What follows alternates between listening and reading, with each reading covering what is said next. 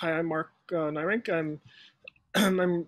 Thanks for so much for having me. Um, I'm going to tell you about the biggest rotating things in the universe, or at least the longest rotating things in the universe. Um, so this is a SciFoo talk, uh, more broadly than that, because art plays a role in it.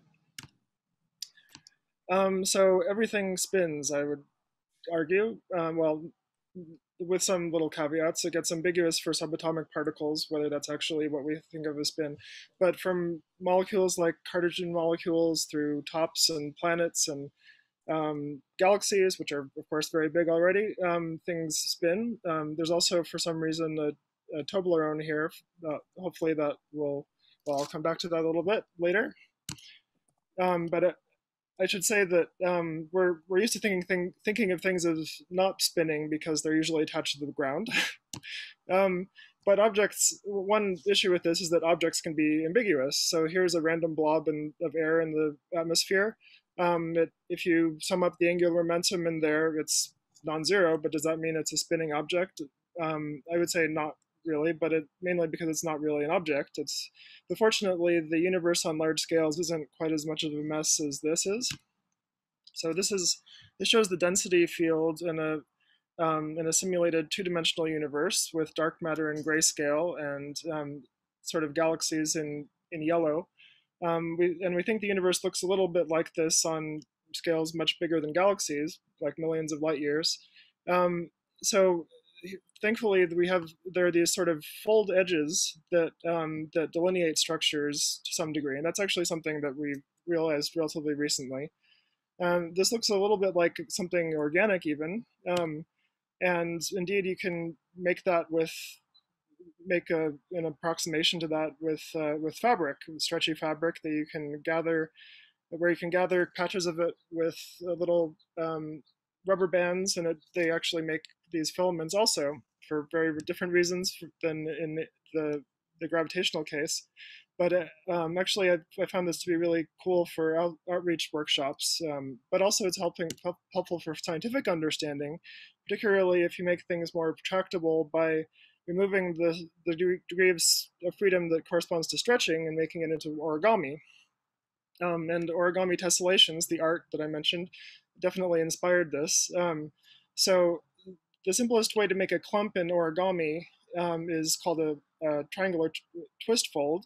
So in this uh, model, you actually turn a, a, polygon by some angle, and that produces some some pleats coming off of it, and that suggests spin.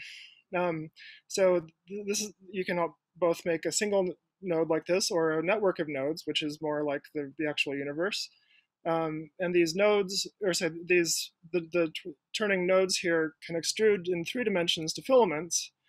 So here's a, um, here's the Toblerone, uh, it's kind of a twisting Toblerone in the universe that connects two tetrahedra, which represent galaxies. And this is a very crude approximation, but um, but in but it sort of corresponds to reality. And in particular, galaxies spin only if the filaments around them also spin. So that suggests that that um, filaments spin in the universe generally, and there are other reasons to think that they might spin. They uh, galaxies around them tend to spin in, in certain ways. Um, so okay, we measured in a computer in a cosmological simulation called the Millennium simulation that generally uh, these filaments between galaxies spin um, which in retrospect wasn't a huge surprise actually, but it was the first demonstration of this.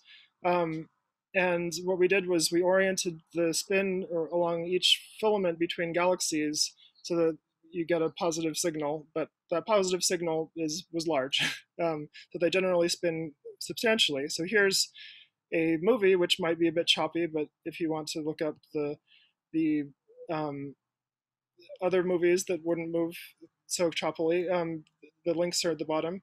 So here we here this is a particularly striking uh, filament from the sample, and gold streaks move along with the snapshot of the velocity field here. Okay, so uh, but also even more gratifyingly, um, the this prediction turned out to be true in the real universe. So um, so here are some observed filaments that a group, including uh, uh, well, the, the authors are shown here, and um, what they found was that filaments on the sky tend to be rotating. Um, it looks a bit like an umbilical cord here. Um, on one side, if you if the filament is along the sky, on one side the galaxies are moving toward us, and on the other side are, they're moving away from us, and that's basically rotation. And the rotation curve basically matches what we what we predicted. So all right, in conclusion, um, cosmic filaments twist twist fold origamically with non-zero spin. So thanks.